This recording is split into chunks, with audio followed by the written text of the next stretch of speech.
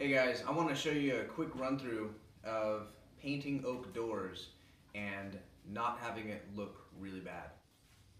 This is a traditionally painted oak door and this was hand painted by someone and it was just top coated and you're gonna see some really unattractive things about it and we're gonna be talking about how to pore fill it and how to correctly refinish them if you don't want to see the grain and you don't want any uh, stain bleed through.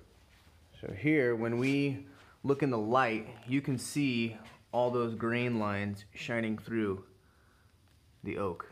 And also you can see there's peeling on this door. Overall, it, it is a, uh, it's a DIY painting job. You know, even if you, you get someone who doesn't know what they're doing, this is what the door is gonna be looking like. So we want this oak door to look like fresh maple perfect, okay? This is an oak door that I refinished and you can see in the reflection of the light there's no grain shining through this thing whatsoever. It is a perfect paint job. It looks like it's brand new fresh maple but it, it's oak. It has all those grains in it but we filled those grain so that it looks like maple. So the most important part of making oak look like that is something like this. This is a really high quality bonding primer. It makes anything stick to anything. Now you can, there's people who say you can use, um, you know, de-wax shellac for the same thing. Um, I've never got great results with it. This is awesome. So this is the first thing you lay down. Uh, you sand the doors, the oak doors that you're finishing, sanding them so you got a mechanical tooth that this stuff can stick to. Lay this stuff down with a sprayer. You can use a really cheap sprayer if you want. Uh, the sprayer isn't as important for these base coats as the sanding is because it's a crap load of sanding. So this is the first, first coat.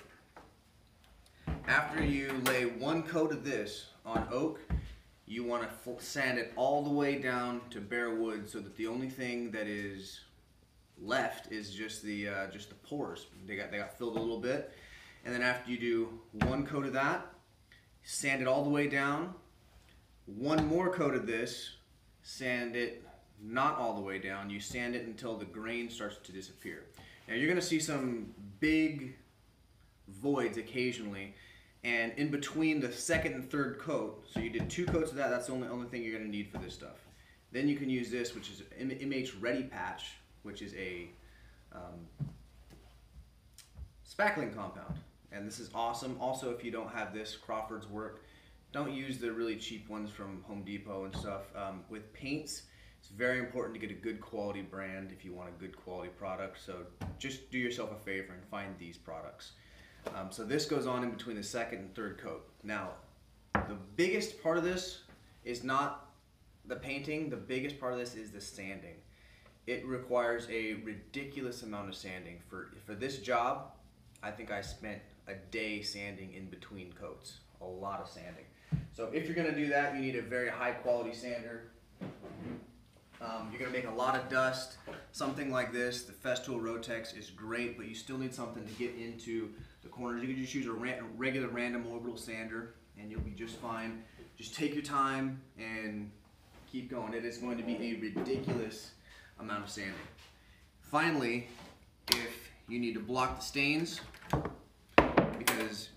most of these golden oak cabinets are stained when you want to refinish them, then you got to hit on top of these two things, because you did two coats of this, sanding in between coats, then you filled it up with this, and then you sanded that back down, the MH Ready Patch. Now, you're to hit it with something like this. Now this is a shellac-based product. If you have an airless sprayer or something like that, you can get a cheap airless sprayer. And if you don't want to throw something shellac-based through your um, through airless sprayer and get it all in the hose and have to deal with fisheye contamination and stuff, you can just go get an aerosol can and just spot prime all the top. Now you have to prime this stuff. This, this, this any spackling compound. If you want to be a good finish, you have to prime it. So you can just hit on top of that with an aerosol can, or if there's any, any bleed through of stain, hit it with a stain blocking primer. So this is a fantastic one. Pro Block from Sherwin-Williams is another great one. Um, but you have to hit them on top with a stain blocking primer. Finally, after all of that is done, the doors should basically look like this but not shiny because they don't have a top coat. They've all been primed and they've all been pore filled to that point. Then all you need is just a just a hand blocks sander like this. Just barely scuff it up. Just take down those little little notches. And then it's time for your top coat. You can hit it with anything you want. I, I, I use Scuff X. Scuff X is a fantastic product. You can use Kelly-Moore Durapoxy or whatever you want. So I used Scuff X and it came out perfect. It, it's just like it would be if it was a brand new maple door from scratch and they were golden oak stained from the 70s or 80s.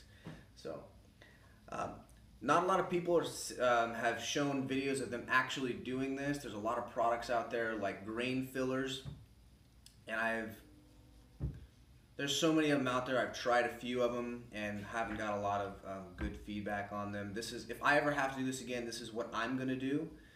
But I will also say, as a professional, and my time is very important. I'm probably never gonna do this again. This was a uh, a good experiment for knowledge, and uh, it was it would have been faster for me to just completely remake the doors. So if you're a hobbyist looking to do this, only consider it if you have a fantastic uh, sander and top coat on that. So, but if you're not, just just rock rock the the pores. Don't just stain block it. Don't even worry about filling the pores. Just just rock it, even though it looks like oak. It'll be fine.